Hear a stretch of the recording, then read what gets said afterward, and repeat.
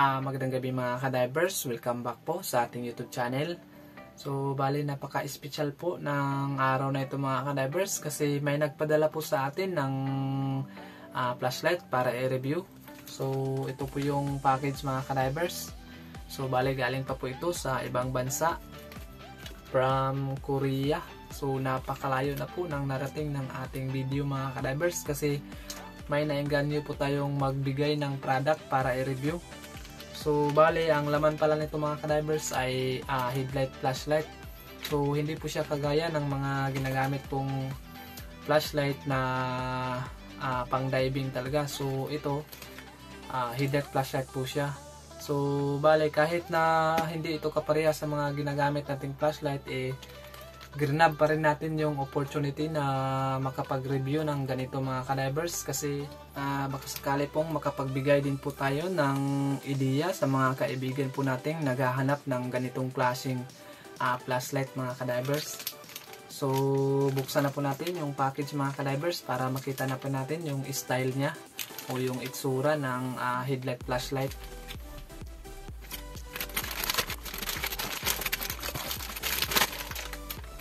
So, ayan, nakabalot pa sa box mga kadivers.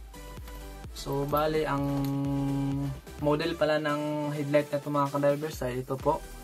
ah, HL3E na headlight flashlight.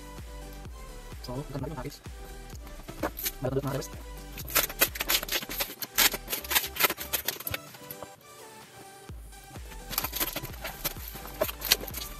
Wala. Yung para mga kadivers. Ayan po. Ito po yung brand niya.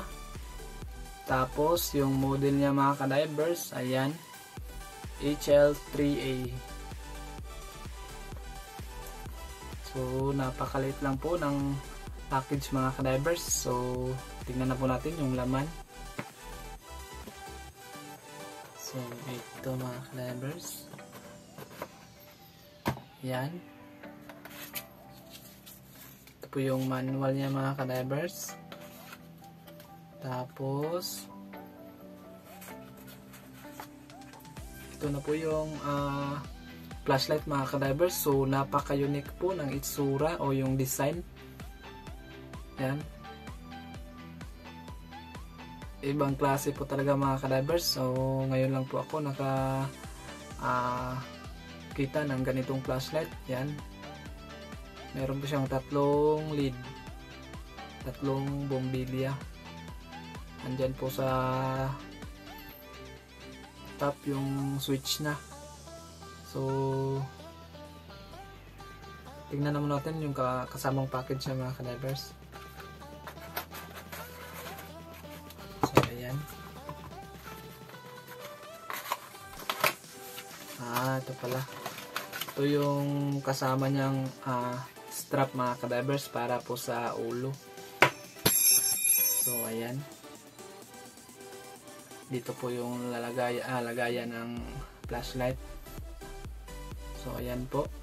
Napakadali lang pong i-set up. Kahit na hindi na po tayo tumingin sa manual. So, ayan.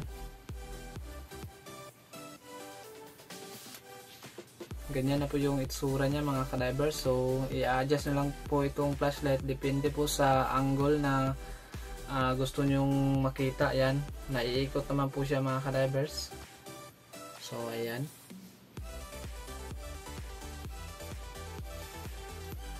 Try po natin ilagay sa ulo. Nandito po yung adjuster niya.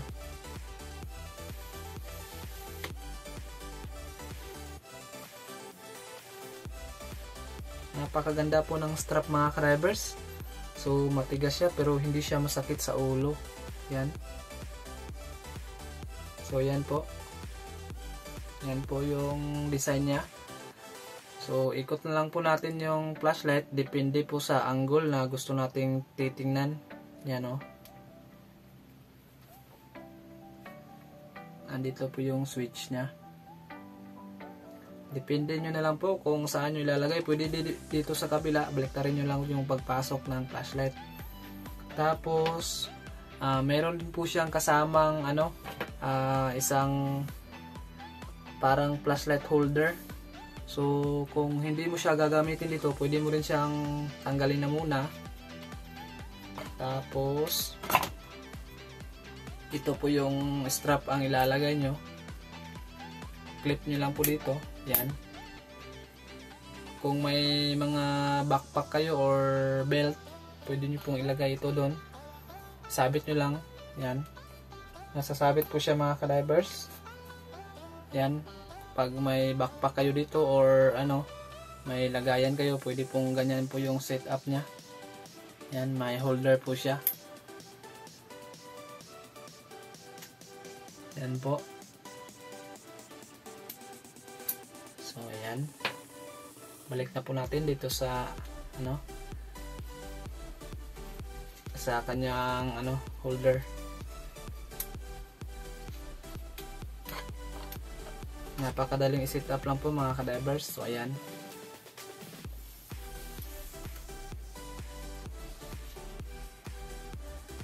So ito ah, bali try na muna natin yung ilaw niya mga kadivers yan tinanggal ko muna sa strap niya para mas madali po natin i-testing yung uh, ilaw niya yung uh, mechanics po ng kanyang switch so bale ganito po yung style ng switch niya uh, isang pindot po yan, nag-on na po siya. Tapos, pag i-adjust nyo po yung uh, ilaw niya, yung buga ng ilaw niya, uh, bale, long press nyo lang po itong uh, switch button. Depende po sa lakas na gusto nyo hanggang max po. Yan. Long press nyo lang po ito. Yan, yan po yung pinaka max. Grabe ang lakas mga kanibers long press nyo lang po ulit para hinaan yung flashlight depende sa lakas na gusto nyo yan oh grabe ang lakas yan switch off pindutin nyo lang po na isang beses so ayun mga kalibers bale meron din po siyang isang style para diretso po sa max uh, na ilaw nya so double click lang po itong switch button. Automatic po nag uh, direct to high siya. Yan po oh. yan.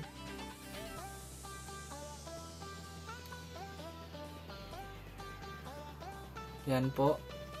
Pindutin nyo po diretso patay so bali try muna natin ito mga ka-drivers na nakapatay po yung ilaw natin para makita po natin yung lakas talaga ng flashlight so papatayin ko muna yung ilaw So, ayan. So, bale, cellphone lang po yung nagbibigay ng liwanag sa atin mga kadivers. So, try na po natin yung switch niya. Ah, uh, on na po natin yung flashlight. Yan. Yan po mga kadivers. Ito po yung uh, pinaka low niya. So, try po natin. Long press na po natin yung switch button para magpunta siya sa pinaka high. So, ayan. Yan po, grabe. Grabe ang lakas mga kalibers. Kahit na napakaliit ng flashlight, napakalakas ng ilaw. Yan po, hanggang sa pinakamahina. So, ayun, balik na po natin yung ilaw natin.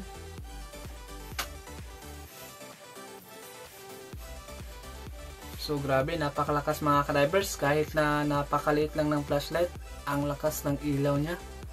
So tingnan niyo po ito, kasing haba lang po ng daliri ko yung flashlight. Bagay na bagay po ito sa mga kaibigan po nating ano, madalas nang lalambat tuwing gabi.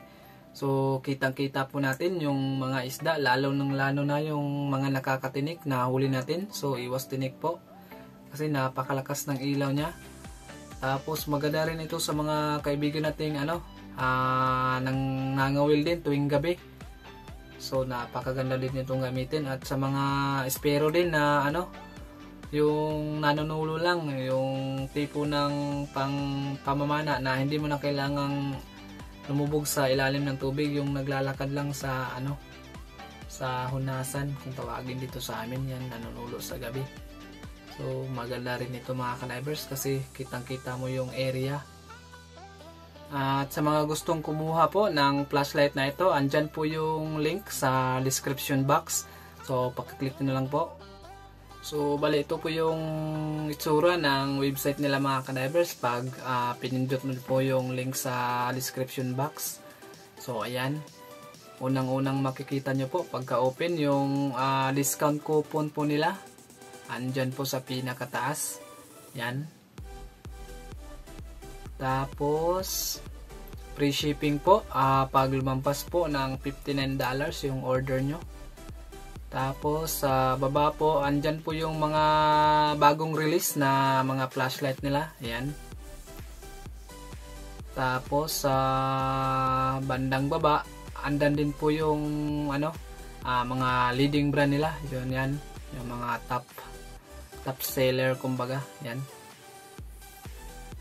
Tapos kung gusto niyo pong makita yung lahat ng brand na mayroon sila, uh, pakiclick niyo lang po yung may tatlong dash sa gilid yan. Yan po. Yan makikita nyo na po yung ano uh, lahat ng flashlight na meron sila.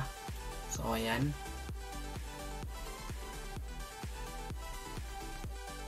So ayan mga kadivers sa mga gustong bumili po ah gamitin nyo lang po yung uh, code sa taas. Yan automatic po uh, less uh, 10% po agad yung product na kukunin nyo. So, applicable po siya sa lahat ng product nila. So, kahit aling brand po, pwedeng gamitan nyo nung code na naandyan sa taas. Tapos, pag lumampas po sa $59 yung order nyo, automatic po, uh, free shipping na po yun. Yan, napakalaking discount na po yun, free shipping. Tapos, may 10% pa. So, ayan mga ka-divers, balik kita-kita na lang po ulit tayo sa susunod na uh, diving adventure natin. So, sa mga gustong kumuha po, uh, huwag kalimutan na andyan lang po yung link sa baba. Yan, click nyo na lang po yung uh, link ng mismong uh, flashlight po para automatic diretso na kayo sa link ng flashlight. So, ayun mga ka-divers, see you on the next dive. Thanks for watching. Peace out.